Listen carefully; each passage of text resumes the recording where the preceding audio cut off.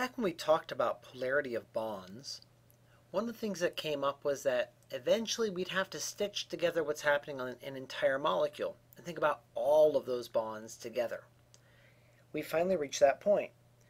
So now that we can draw things in three dimensions, if we want to know the polarity of an entire molecule, the first thing we'll do is we'll draw that molecule in 3D. That lets us visualize exactly where all of our bonds are actually going to be in three dimensions. Now we're going to decide for each of those bonds if they're polar, and if so, we're going to draw that polar arrow. And remember, the arrowhead points toward the more electronegative atom. The positive end of the arrow points toward the electropositive atom, in other words, the one that's least electronegative. And that'll tell us something about which direction the electrons are going to be sitting. Now if we visualize what's happening in three dimensions, if they're all balancing each other out, it's still going to be a nonpolar molecule, even though it has polar bonds. But if that molecule is lopsided in three dimensions in any way, that's going to make it be a polar molecule. So we cannot think about the polarity of a molecule when we're still in flatland. It's got to be inflated into 3D. If you were to try it in 2D, you will have mistakes. So make sure you inflate to three dimensions first. So let's take a look at a couple of examples of this. So you can picture this molecule. In fact, if you wanted to go the whole way through and do the Lewis structure for it, we could write carbon. We have our four fluorines. I have a fluorine, a fluorine, a fluorine, and my last of the fluorines. Each F brings seven electrons. Carbon has four electrons. I've got one carbon. I have four fluorines, 28 total from there. Another four from carbon gives me a total of 32 electrons to work with. So I have 2, 4, 6, 8, 10, 12, 14, 16, 18, 22, uh, 20, 22, 24, 26, 28, 30, and 32. Incidentally, you heard me just kind of stutter past a set of numbers and make a mistake. If you see something weird at the end where you're like, this, this doesn't seem like a structure that I've seen before, the first thing you should do, very carefully recount the electrons you have drawn to make sure you've actually drawn how many you think you have.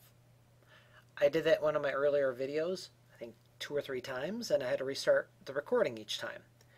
So make sure you catch yourself on those yourself before it ends up, you know, being on an exam question. All right, so we see here that we have our full octet filled for everything, 2, 4, 6, 8, 2, 4, 6, and 8. So the outside fluorines are set, the carbon is set. That means it's AX4, 1, 2, 3, 4 bonding regions. AX4, no E's, no electron pairs. Tetrahedral geometry, and you see that drawn in right there. Okay, so we've just kind of done all the background that was sitting here already for us in this sketch. Now we know fluorine is the most electronegative atom on our periodic table, and so the arrow should be pointing up toward it. It's definitely a polar bond. In fact, remember carbon was about what 2.1 for its electronegativity. Fluorine is at the maximum of 4. Delta En is at 1.9 if we got any further apart, these things were going to be ionic. So it's already a really, really, really polar bond. Giant polar arrow there. But when I draw this into three dimensions, you can see that, at least hopefully you can see that, in the three-dimensional tug of war that's going on, they are totally balanced out in three dimensions. And so this is going to be a non-polar molecule.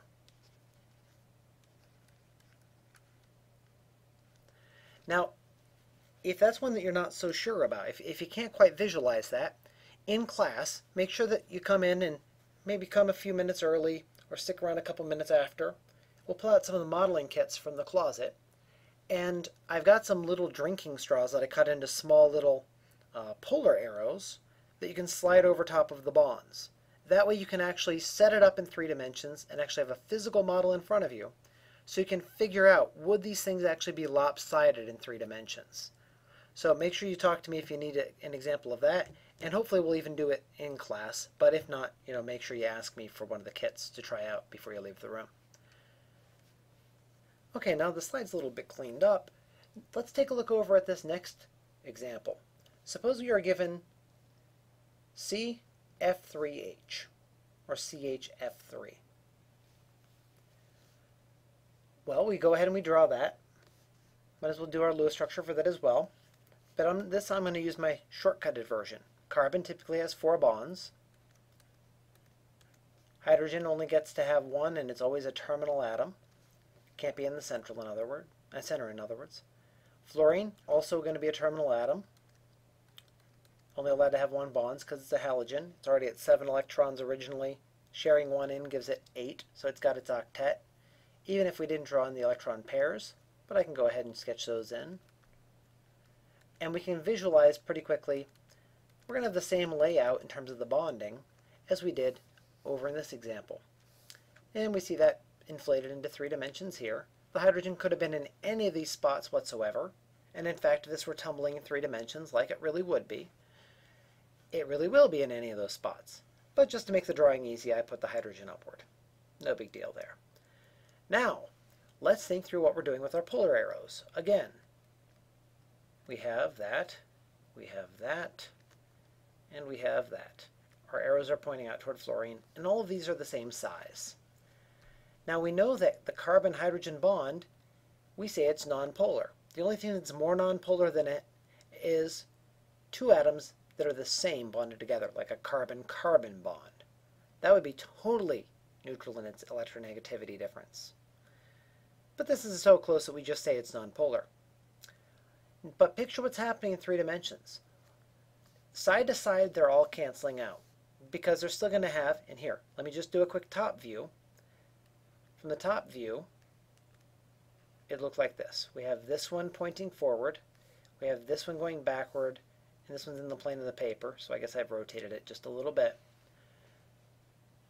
So in this plane, though, you can see that the side-to-side -side part is neutralizing out.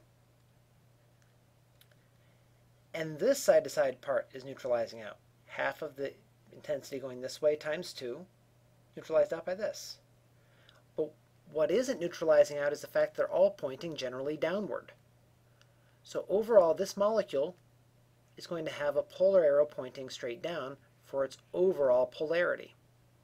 So this is going to be a polar molecule. It's got polar bonds. It has a polar molecule. This one has polar bonds and is a non-polar molecule. Make sure that you do this in three dimensions and don't just think about it in 2D because you will definitely get these sort of things wrong.